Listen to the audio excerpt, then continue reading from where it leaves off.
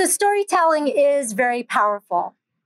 And I'd really love for you to share your perspectives on storytelling and the critical role of storytelling in actually tackling racism and prejudice that we know is out there.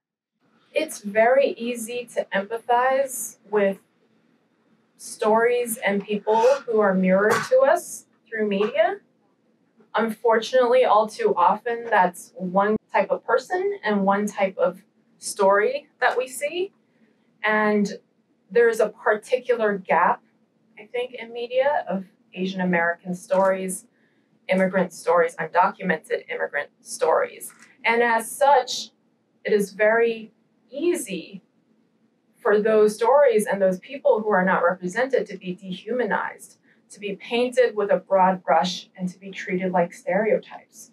So, holding up unique stories to the light, showing that we are all different. Just one Asian American cannot be replaceable for, for another one.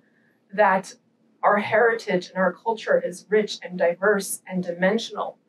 That is crucial. People are really easy to judge from afar, but they're impossible to hate up close. You can't get to mm. know someone intimately without seeing some of yourself reflected in them, no matter their race, no matter their immigration status, no matter their sexual orientation.